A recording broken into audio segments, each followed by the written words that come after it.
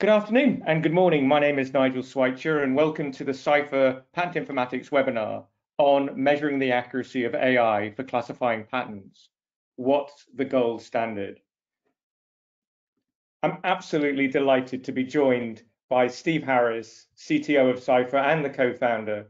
Uh, but uh, even more exciting is to have Tony Trippe with us, Managing Director of Patinformatics.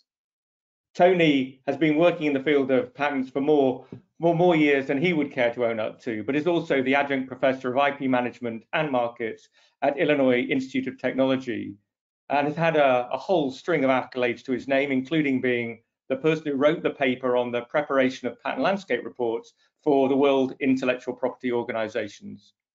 It's also an interesting stat for those people who like numbers, and I hope many of you on the call do, that both Tony and Steve are members of the IAM 300, which if you count me, Nigel Swycher, into that group as well, that's 1% of the world's patent strategists, if you believe statistics. But before we go on, Tony, I wonder whether you could just introduce why you've had such a passion for patent analytics, uh, right through to developing a company and coining the term patinformatics. Hey, Nigel, uh, Steve, it's a real pleasure to be here with both of you.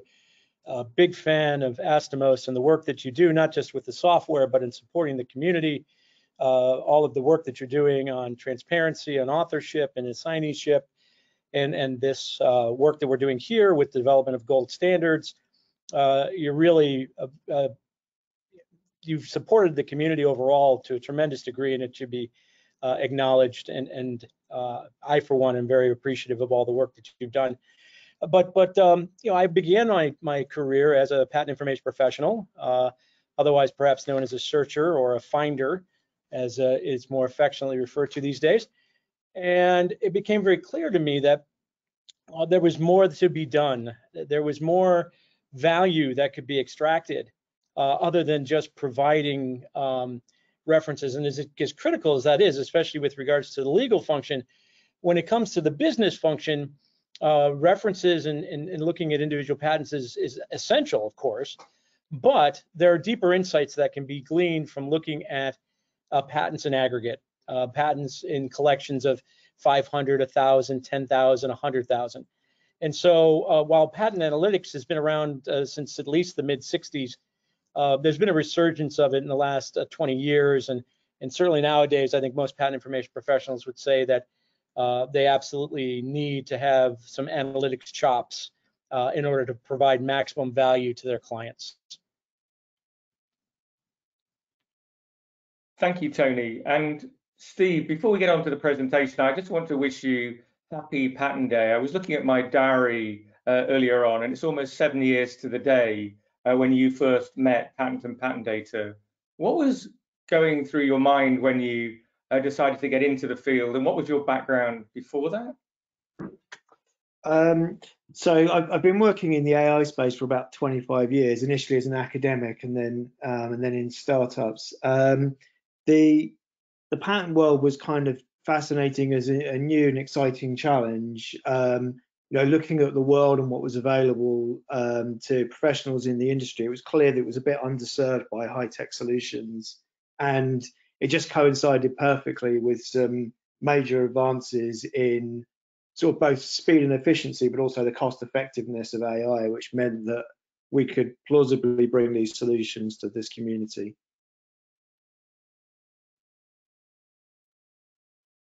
Um, we're in for a pretty lively session, I think. If the the blog that Tony started and the advertising that was put around on LinkedIn, this is my favorite quote, quote from Matthew, I hope has actually signed in today. If an AI search tool worked well, we wouldn't need it. It would automatically classify every patent and converge on a single source of truth. I also wouldn't laugh when I got the results. Clearly, AI has had a, a lot of discussion, and in particular, we'll be talking today about machine uh, learning. That's the field that uh, Cipher focuses on. It's the area we wrote this paper uh, together with Tony uh, earlier on in the year, published in the World Patent Information.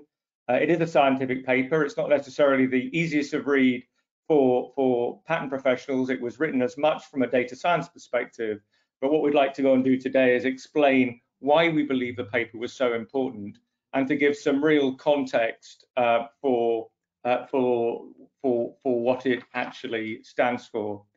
Important to go and say what we'll not be covering on today's webinar, which is the enormous and valuable work in the field of AI more generally. So you can see on the slide a, a sort of picture of a, a typical uh, patent life cycle from the invention process to examining it for freedom to operate and novelty to helping the patent offices do examination more efficiently, right through to exploitation and where necessary, invalidation.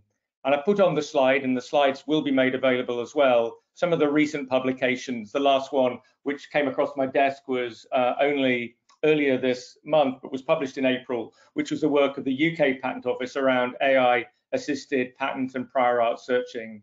Uh, we're not talking about AI. I say we're talking about machine learning and a very specific branch of that. And uh, no better person to take us on that journey than Steve. Yeah, so this is um, kind of a summary of the what drew me into the patent world and why it seemed like a good idea. Um, as I said, you know, my previous company was in the anti-fraud space. We were using much less sophisticated technology, and it costs easily 10 times as much to, to subscribe to it as a solution, but it was a, a, a knottier problem with a, with a higher a higher ticket price to solve it. So it was appropriate to throw that much technology at it. And now it's come down to the level where it can be applied to other industries where the budgets aren't quite as big. Um, so as Nigel said, really we're talking as much about ML and AI as AI in, in this particular talk. So um, it's a little bit complicated. AI is kind of as much an idea as it is an actual scientific field. Uh, this picture is probably quite controversial, but I've worked in both non ML and ML AI, and this is kind of how I would characterize it. Um, and the intersection of where ML algorithms are typically described as being AI is what's called deep learning, which is yet another buzzword, which is really just a degree of complexity of ML above a certain level, which is poorly defined. We describe it as being deep learning. Um, and it's really all about the capabilities. Um, there's nothing you can do in uh, in a deep learning system which you can't also attempt in an ML system. It's just the results are typically a lot better in deep learning.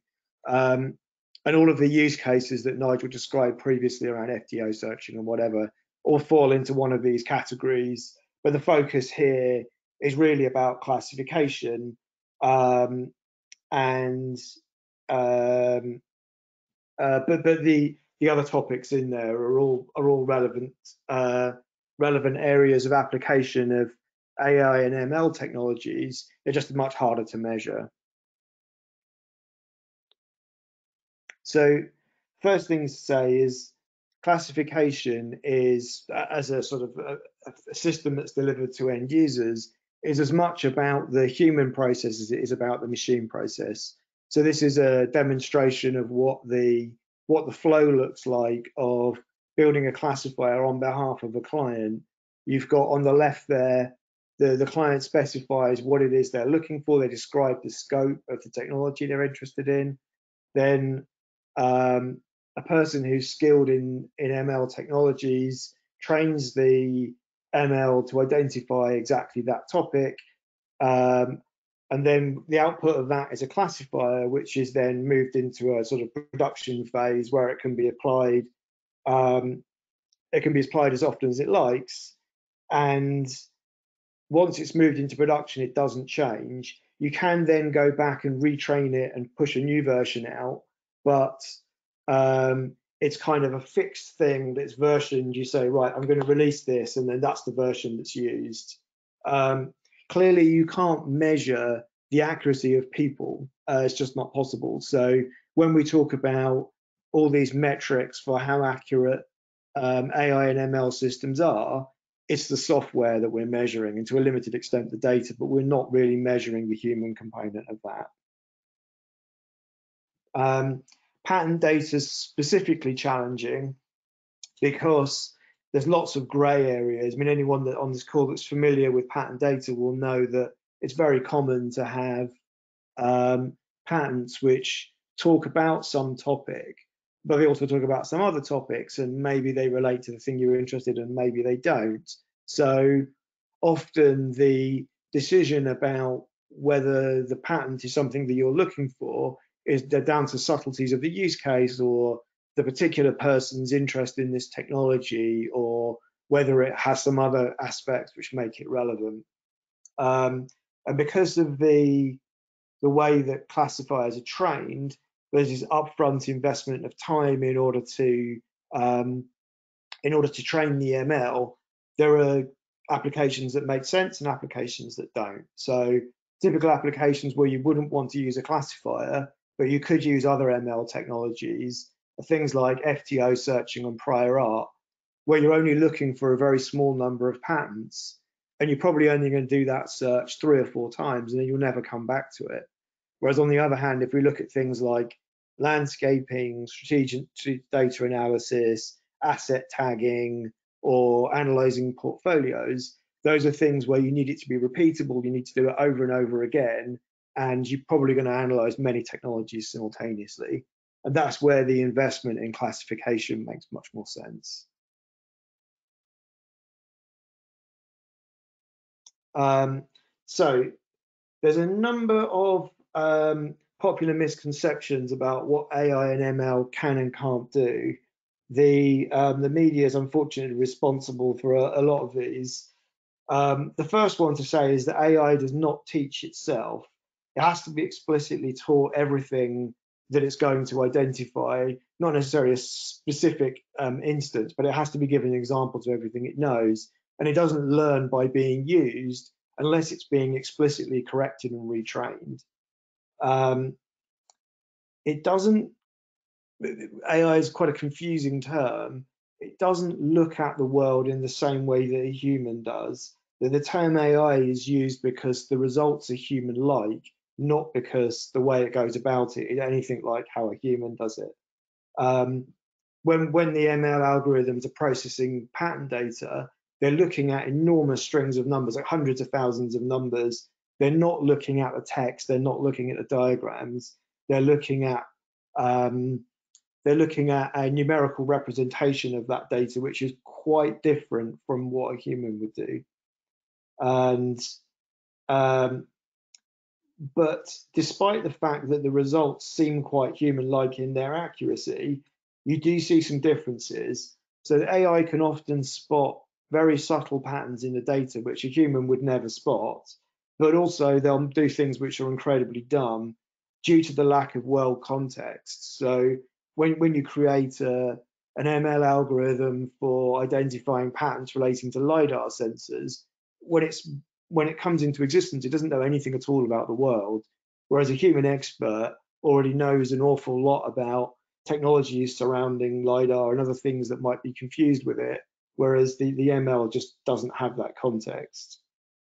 Um, but because of the things that we can see people doing with ML in some cases everyday life, some cases in near future, like interpreting spoken instructions like Siri, translating text, diagnosing illnesses, or in the more extreme case, self-driving cars, it's quite easy to anthropomorphize AI and imagine that it's somehow intelligent in a way that we would understand, but really it's just a huge amount of mathematics. And uh, now I'm going to hand over to Tony to talk about gold standards. Thank you, Steve. So one of the things that we decided to do uh, in this space is, is develop some standards. Uh, on, on, one of Steve's earlier slides, there was some discussion about data. And, and data is essential to each and every one of these, uh, the use of these algorithms, the use of these techniques, uh, that's that's what you use to train or to teach uh, the system about what is correct and, and what is not correct. Uh, and so I wanted to begin, and I'm not going to read off these slides uh, per se. Uh, I just wanted to begin with a couple of definitions because there's a little bit, there's two terms that get tossed around, uh, and and they're generally more or less semi-synonymous with one another, but it is worth talking about the difference. Um, one is a gold standard, uh, which is what we're calling what we're doing, and, and, it's referred to here from Wikipedia, diagnostic are, are a benchmark.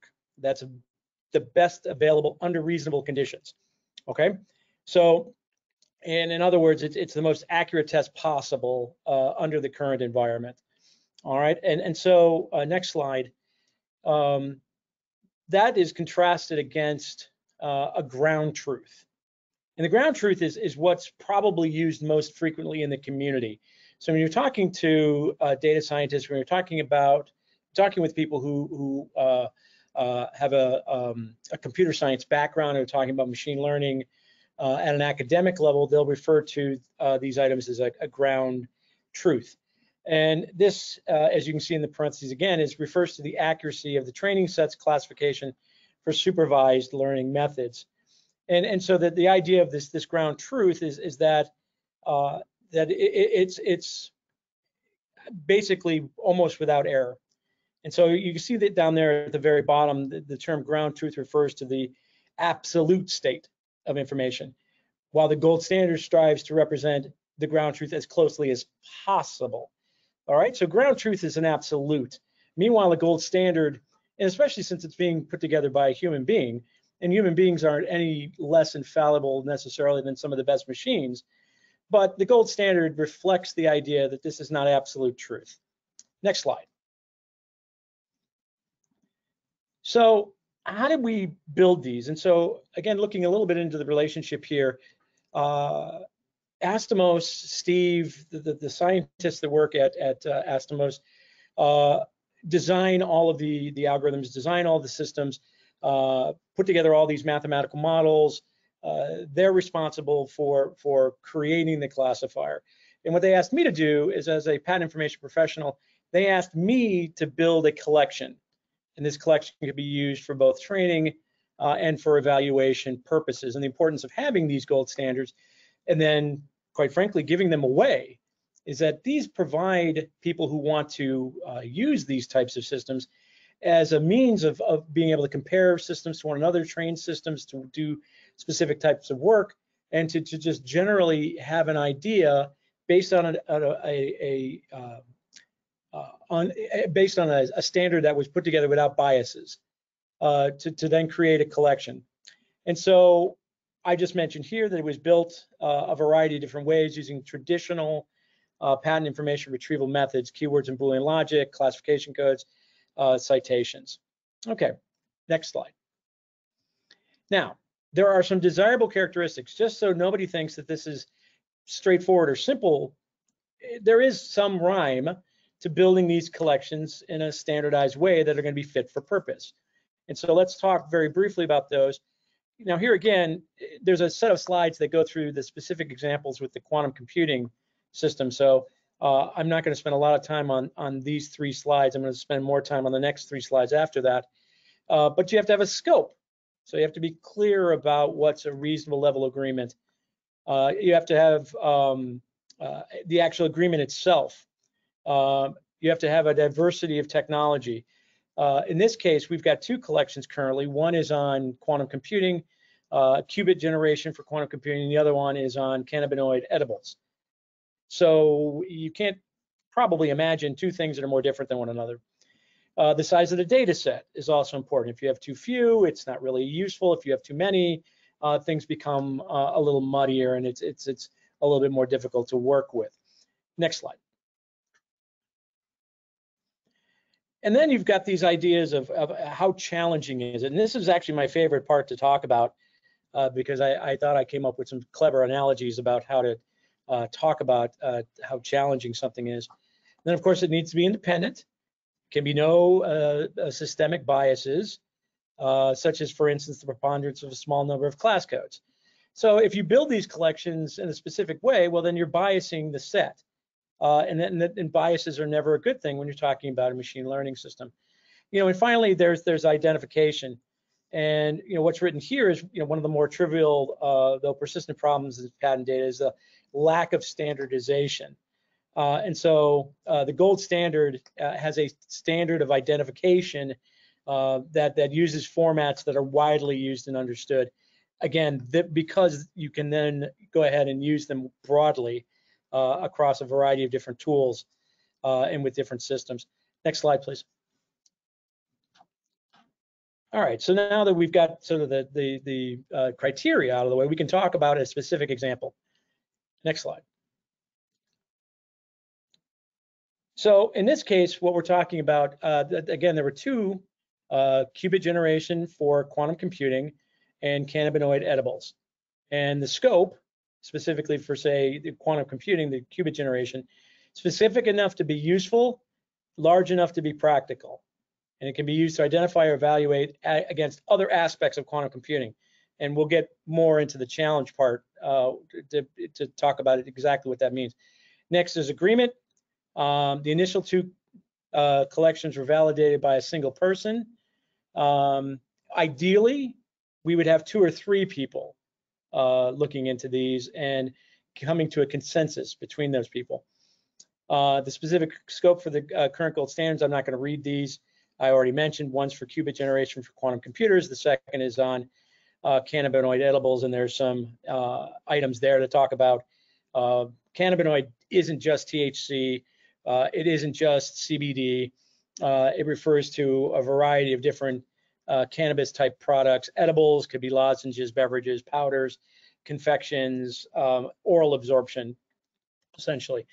And then we talk about um, these each come with a, uh, a collection where um, the negatives are ones that are easier or harder, uh, where the easier negatives are ones that um, are more far afield and the harder negatives are, are negative uh, references that are a little closer to, to what somebody might expect.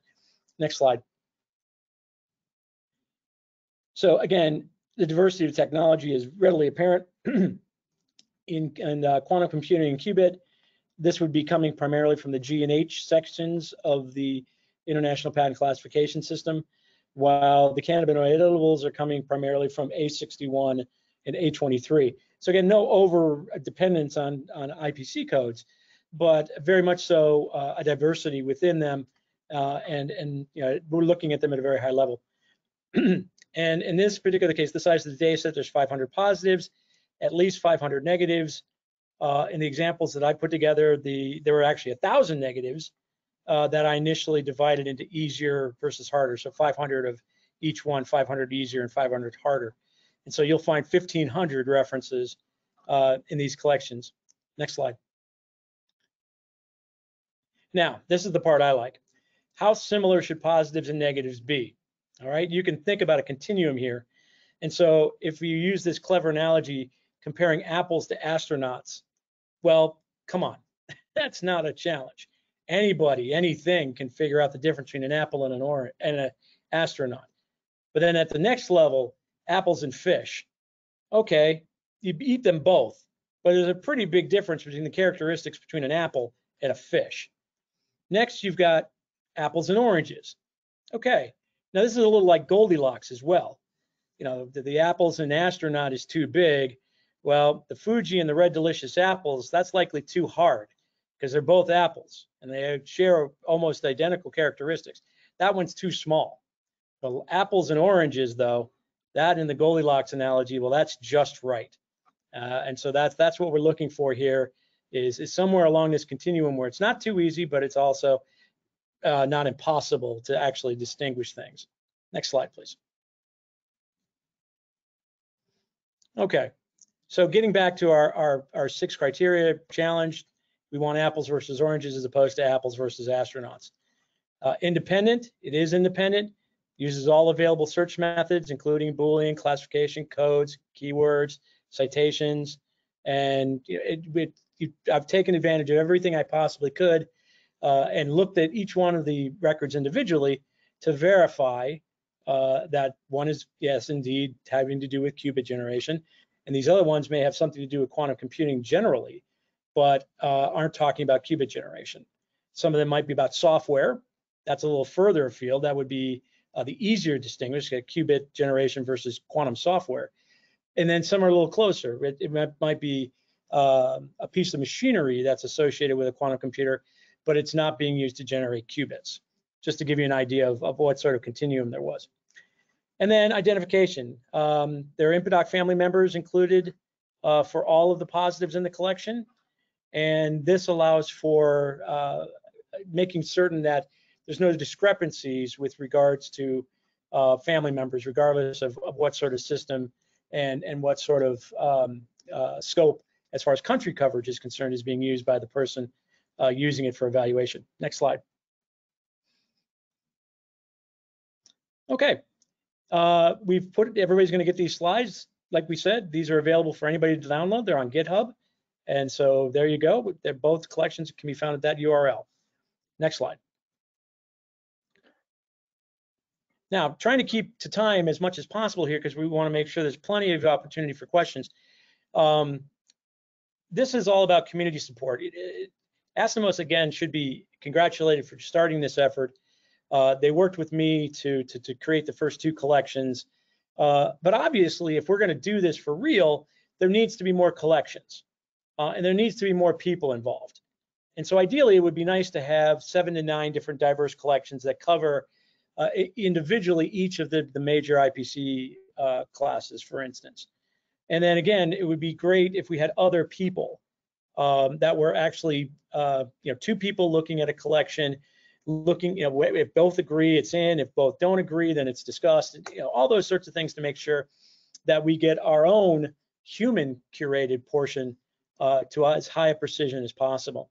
And of course, um, there are a number of other vendors, number of other companies that work in this space, and it would be fantastic, really tremendous uh, to get more people involved, uh, not only in using the sets, but to helping develop them. Next slide. Okay, so here I want to pass back to Steve. Um, we obviously want to help the community understand ML. We also wanted to gain trust that Cipher was a, an efficient and effective algorithm for classifying. Steve, do you just want to talk through how we went about that part of the process? Sure. Um, so this is a visualization of part of a gold standard. So when you're evaluating an, an ML algorithm against a gold standard, uh, to sort of cut a long story short, you effectively slice the gold standard in half, keeping some positives and some negatives, you train it on on half of it or some portion of it, and you evaluate against evaluate against the other half. So this is a visualization of the part that's being evaluated. So in this in this example, there's 300 patents, 97 of which are positive. So they're examples of uh, the qubit generation technology, and 203 are negatives. So those are examples of related technologies, but not actually qubit generation. Um, we then take that um, test portion of the data, we ask the classifier to give its predictions over um, over whether they're positive or negative, and then we look to see how that compares with what the gold standard says. So in this case, this is a completely hypothetical example, but the, the classifier has identified 96 things which it believes are positive, three of them weren't, and it's identified 204 things which it believes are negative, four of them weren't.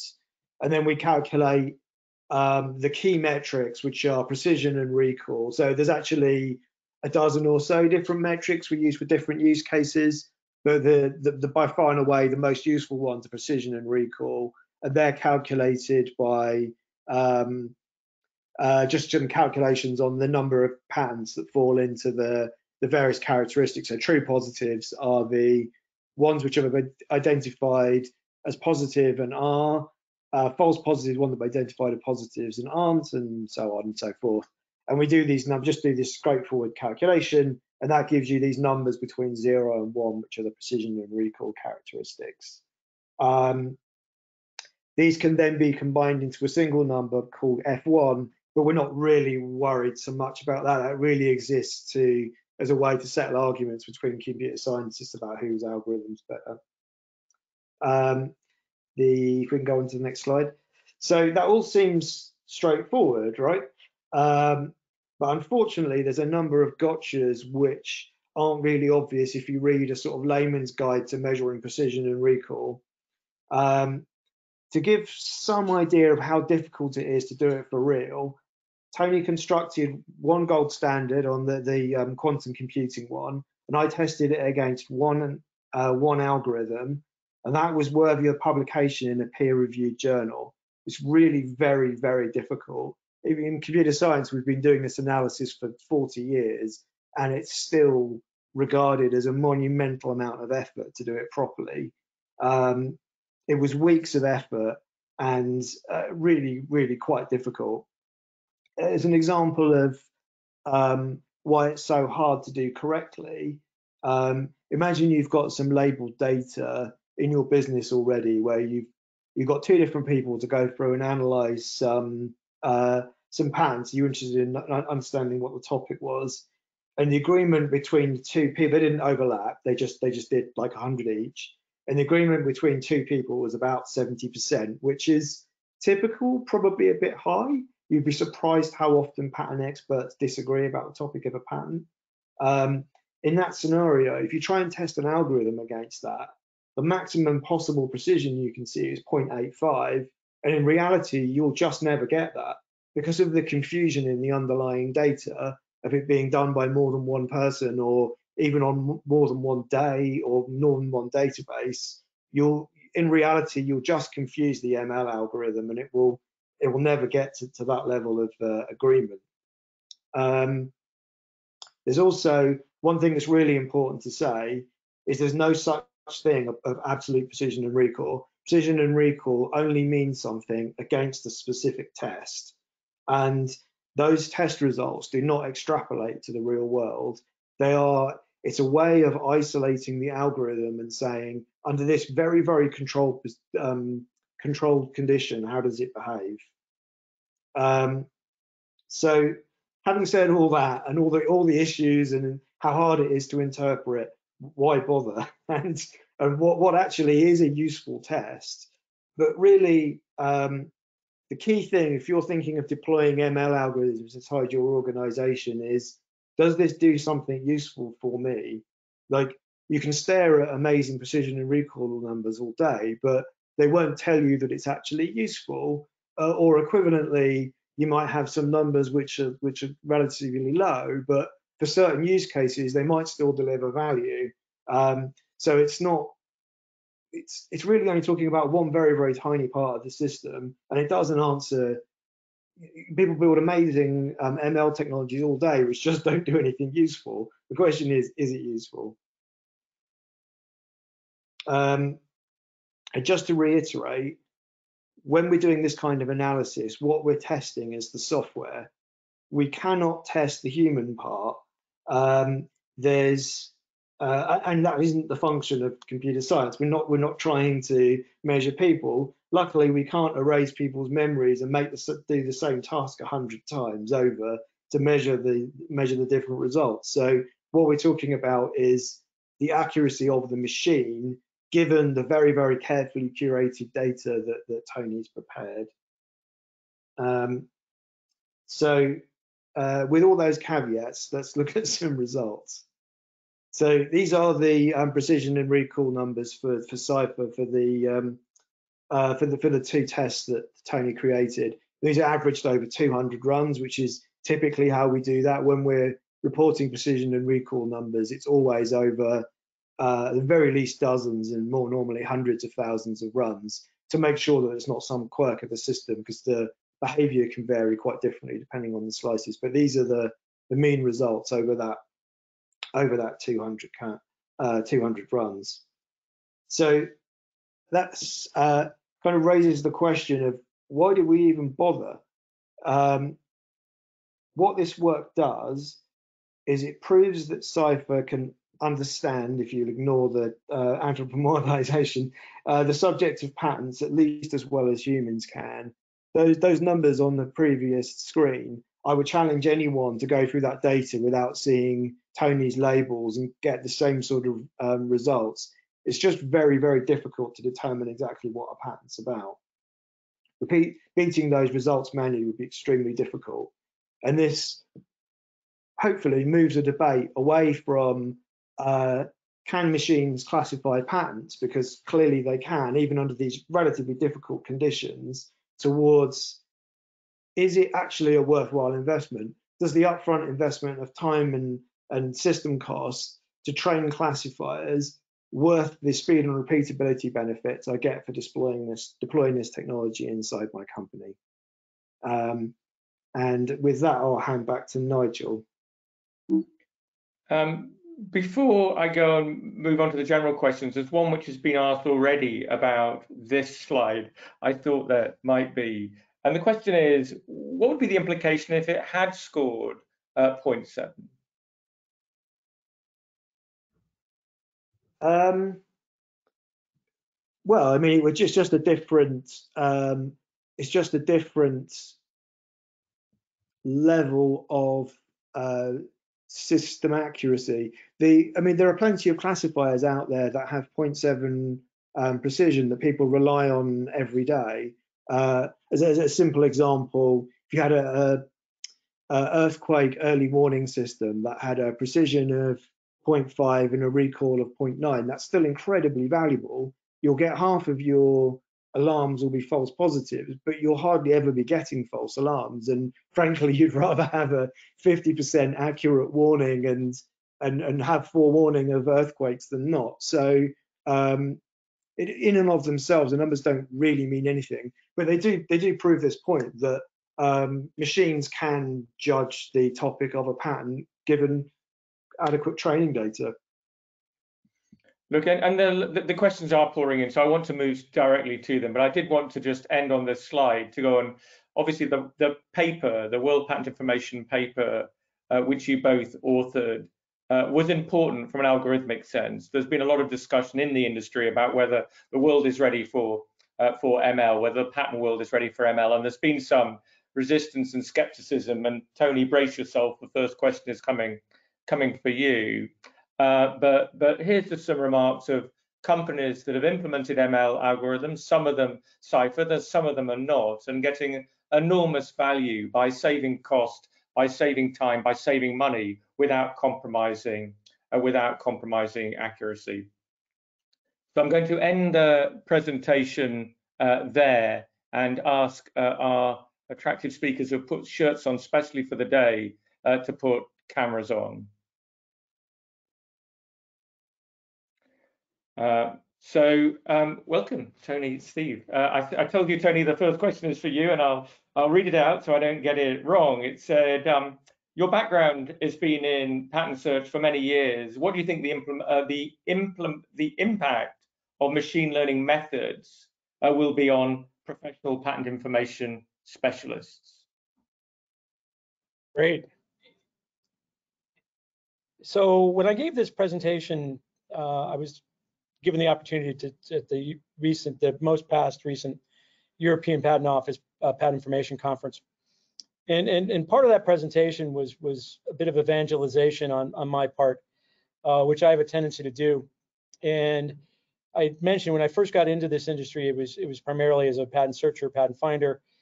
Uh, but then it became very quickly apparent to me that, that there was uh, additional value, value, additional insight uh, there was additional work that I could be providing to the people that I, I, was responsible for by doing analytics. And that was 20, 25 years ago that that movement began to, to pick up steam. And I would go to these conferences and talk to people, and they were mostly thinking that I was crazy, that that I was I was kind of off my rocker, and and uh, that that no no no no no no no. You know, what's important is that that we're able to to identify good records for freedom to operate and patentability and for clearance and for validity and so on. And that's all again very very very important. Uh, but it uh, became clear to me, and then it, it's borne out over time, that there was a bigger need. There were other clients. There were other uh, opportunities to add value to corporate decision making other than just those we are now in a similar situation. We are now in the exact same type of a environment where uh, analytics, classification, uh, uh, traditional sort of methods that are more or less uh, done by a brute force are being displaced by the opportunity to, to take advantage of computing power and machine learning and, and all of the rich work that's being done in the computer science area to provide even more insight and certainly efficiencies as far as time uh, for doing this work uh, by taking advantage of these items. And so the, the whole industry uh, is going to be moving. It's going to become in 10 years from now, five years from now, uh, we're going to wonder about why anybody ever did uh, just a Boolean search, for instance. Uh, it's still a little ways coming. There's still some some need for for transparency in some of these systems. There needs to be some education on the part of the practitioners, but there's no doubt about it that this change is coming, and and it's going to be a change that that is going to impact everybody, the clients, the vendors, the professionals. Uh, everybody is going to have to learn and, and become more comfortable with working in this sort of environment. If I can just pick up on that, so this is my question to you, Steve. If if it's so important that the the IP industry, uh, of which I've been part for 30 years, engages with ML, why is it taken until now for these type of algorithms to be deployed commercially? Um, well, there were some major scientific advances, kind of maybe seven, eight years ago, um, which resulted in both massively improved capabilities. So the ability to learn from smaller data sets more quickly and massively more cheaply, and to apply this technology over very large data sets. You know, we can classify 30 million patents in three quarters of an hour, which um, the last ML systems I was working in academia would have taken months to do that same task, and it would have cost half a million dollars. It was just completely unaffordable. So it's really about the advances in technology, hardware, all the discoveries around using graphics cards to accelerate AI algorithms have made just phenomenal difference. And, and of course, in, in many ways, this talk has been focused on ML for classification, but I know your interest in searching and finding, if I can use that term, Tony, goes much wider. What would you like to see developed in terms of machine uh, machine learning methods more generally going forward?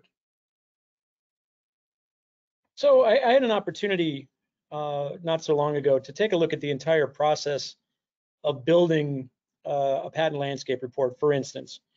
And and and what I tasked myself with is is each step along the way, where is it that I could uh, use machine learning methods uh, to improve and, and make that task more efficient, or at least to augment what I was doing now. And so, uh, if people are interested and they'd like to see a copy of those slides, I can certainly make that available. But but the bottom line was just along the entire continuum. You you start with retrieval.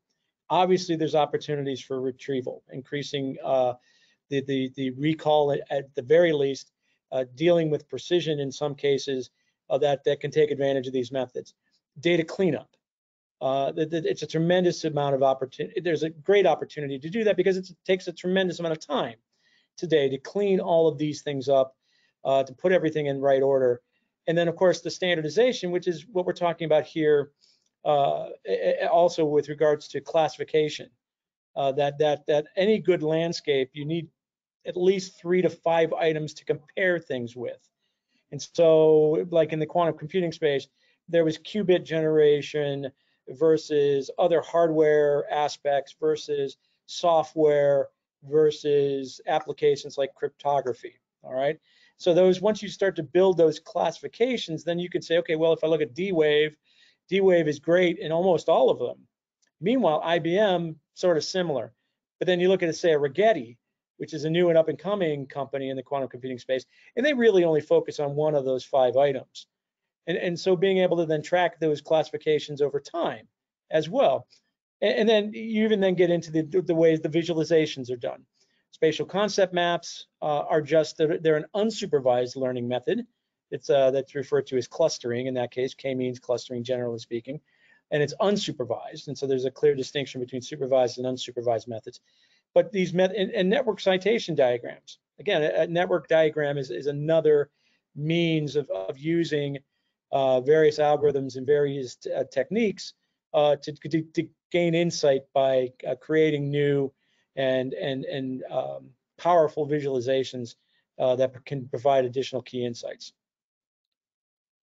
And Steve, there's a question here which I think refers to your slide where you had humans sitting on top of the machine, where you analyze the human part of training and the machine part of classifying. Could you just explain, it says, explain supervised machine learning and where the human input is involved? Yeah, so um, it's it, the process is called labeling, but it's basically going through a number of examples and tagging them with, in this case, whether they're positive or negative.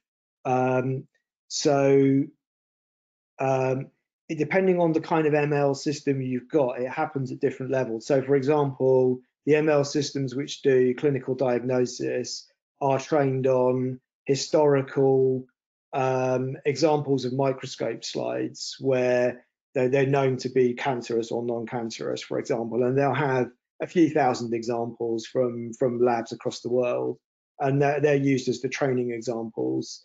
Um, in the patent case, we have way, way, way, way more use cases. So we're building training sets that the labeled data on the fly, typically based on customer demand. So a customer phones up and says, I want uh, to be able to do a landscape on LiDAR technologies. Can you train me classifiers on LiDAR mirrors, lasers, sensors, motors, and so on?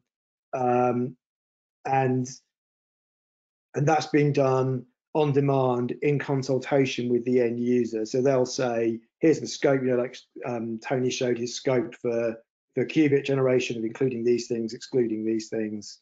And the person that's doing the training interprets that scope and identifies some key number of uh, patents which relate to that and some things which are um, in, adjacent technologies and that's how the the classifier is trained. Does that does that answer the question? Um, I'll, I'll, watch the question channel but let's go and throw it immediately back to to tony. Does that change the role of a of a patent searcher or does does it eliminate the uh, the, the role of the patent searcher? Does the profession feel threatened by these advances? Uh, I'm only a single representative and on the on the lunatic fringe uh, by most people's accounts anyways. Uh, but no, um, I think there's there's getting to be a, a more or less uh, general understanding that that um, just from a capacity standpoint, I mean, you can ask the question, for instance, it was end user searching uh, which became popular uh, again maybe about 20 years ago. Was that going to displace the patent information professional? And, the answer was no. Uh, it, it, meant some some some reevaluation. It meant some some evolution of what the profession was was responsible for, but it certainly didn't replace.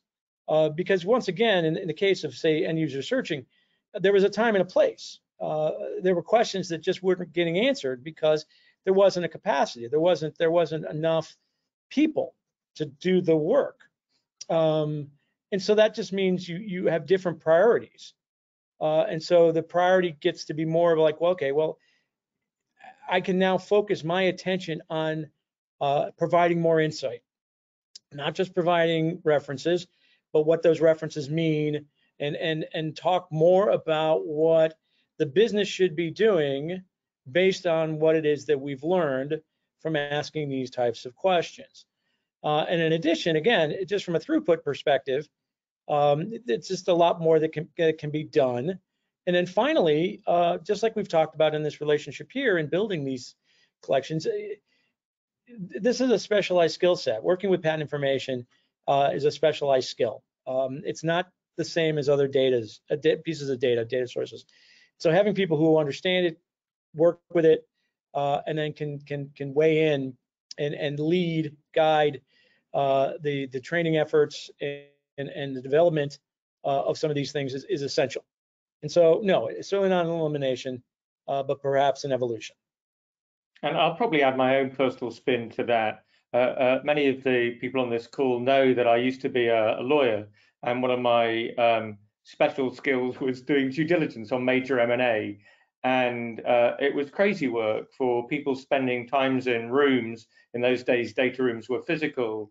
And I remember in 2015 or 16, Forbes, uh, um, by the way, big plug for Tony, who's now writing a weekly bulletin for Forbes. But Forbes wrote up the ARM SoftBank transaction that talked about taking weeks of manual work out of the process and saving, therefore, time and money. Um, and I got asked a question at a conference saying, how how did I feel? How did I sleep at night that I was destroying lawyers' jobs? Well, there was no part of the legal profession that I joined that thought I was qualifying to put patents into piles and date stamp them and check renewal fees and tag them and sort them. So I think there's a balance in all these uh, exercises between inspiration and perspiration, and no one uh, um, makes money in the long term from perspiration, but by by the value, the added value on top. Now, a quick warning, uh, five-minute warning for those people uh, uh, on the call, and I'm delighted to see that over 95% of people who signed up at the beginning have stayed on throughout. So I'm delighted to see that we haven't lost you. But there's five more minutes, uh, so I know Steve and Tony will be willing to take a couple more questions. Uh, there's one more here, uh, which I think is slightly provocative, Steve. So I'll let you take it first, and then maybe pass it to Tony. Is this the end of Boolean search? No, I mean, of course not. The um, it, it's a it's a very different thing. Um, the I mean, you as a trivial thing, we still use Boolean search when we're training classifiers because we've got to find the patents in the first place before the machines had a chance to look at them. But um, Boolean search does, does it has a specific role, it does a specific thing, and classifiers do something completely different. Like the, the purpose of a classifier is that you can get generate your landscape of lidar patents or whatever it is, and not have to go through it manually as long as you've trained the classifier well and you keep it up to date with movements in technology, you invest the effort up front in training the classifier, make it good, and then whenever you want to repeat that landscape, you just rerun it, cost you nothing, takes like an hour maybe, and you get the results back. Uh, that's a completely different value proposition to Boolean search. You wouldn't, you'd never use a classifier to find all the patents in H04R. It just wouldn't make sense. They've got they're already tagged with that class code. So no. Tony, do you want to take the the same question? I know you'll have a, a slightly different perspective on it. Yeah. Okay. So Boolean sucks. Okay, it's horrible. I, it, it's only used because once upon a time there was no other choice and then it got romanticized to a certain degree. But it's horrible. I mean, I, I build collections for a living. That's that's all I do. I've done thousands of them. Okay, and, and, and generally speaking, for every single one of them, there's a Boolean component. There's also a classification component. There's also a citation component, and more and more increasingly these days, there's a machine learning component.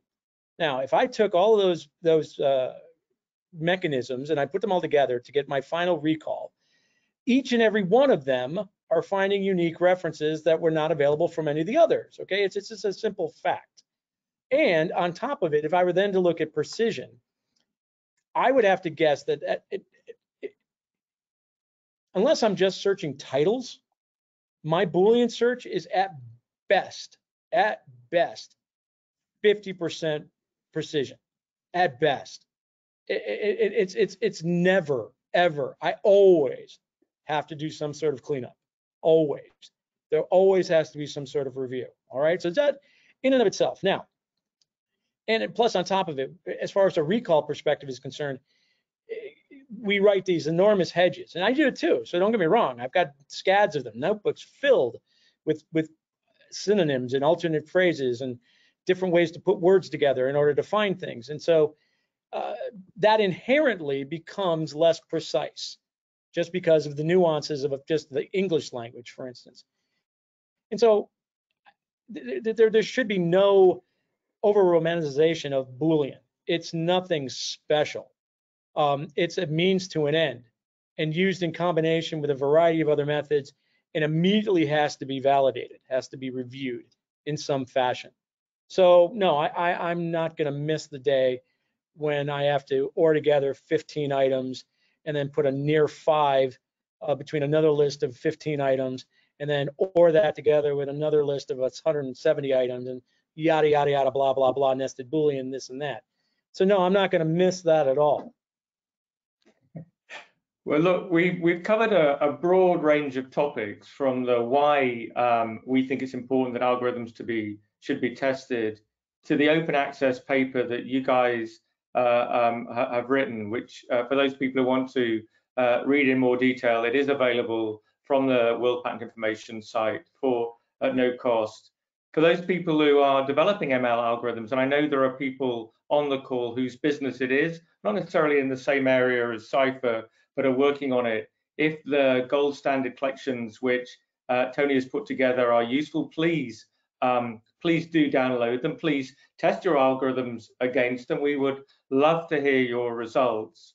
Um, don't, for those people who are, are users, we have some customers on the line. We have people who are looking at ML solutions. For those people uh, uh, who are, are doing that, remember that the paper will only answer one element of the trust and really ask Steve's question about um, about what are you trying to do? What problem are you trying to solve? But in the in the few minutes remaining, Tony, Steve, starting with you, Tony, what, what, what takeaways would you add to the pile for those people who have listened patiently and uh, devotedly for the last hour of debate? So you're taking an op, you're taking a chance to to learn something new. All of us are getting into an area of discomfort and an area that that of unfamiliarity. And, and that sometimes can we can be reticent to do that and we give ourselves a variety of reasons why we don't. Uh, most of which is well I, i'm just too busy right now and i don't have the time. And and again uh, one of the things i want to reiterate is is that i think it's pretty essential that we do find the time uh, each and every one of us. I think that there's there's too much opportunity here uh, to, to simply say well you know what I'll, I'll get to it. Or maybe at some point when i don't really have any other choice or my boss has explicitly come and told me that, hey, we really need you to do this. Be proactive, uh, get involved early, uh, learn a little bit about what's going on here, talk to folks, and and uh, educate yourself as to how to uh, feel comfortable uh, working uh, with some of these systems and and and taking advantage of the the opportunities they provide. And Steve, unusually, the final word is with you. Um, so I think the, the, key thing is it's not ML technology is everywhere. Like people people use it on their phones like every, every time they pick up their phone without without realizing it. And uh, the applications in the patent space are relatively new, but there's nothing uh, exotic and weird about patents. They're they're just they're just documents, and it's 100% amenable to, to ML algorithms. And um, and we've, we've proved with this paper that um, algorithms can accurately identify the topic of patents and uh, people should be looking to exploit that capability to, to, to produce better results quicker and more reliably. Look, this has been a, a most enjoyable conversation. Tony, thank you for both the work you put into building the gold standard and for joining us today. Steve, that was uh, another, I learned something every time I hear the explanation of ML uh, from me, Nigel Swycher, Tony Trippe, Steve Harris, thank you much very much for joining. Uh, and you will be sent the recording immediately after this call, but tomorrow at the latest. Thank you very much.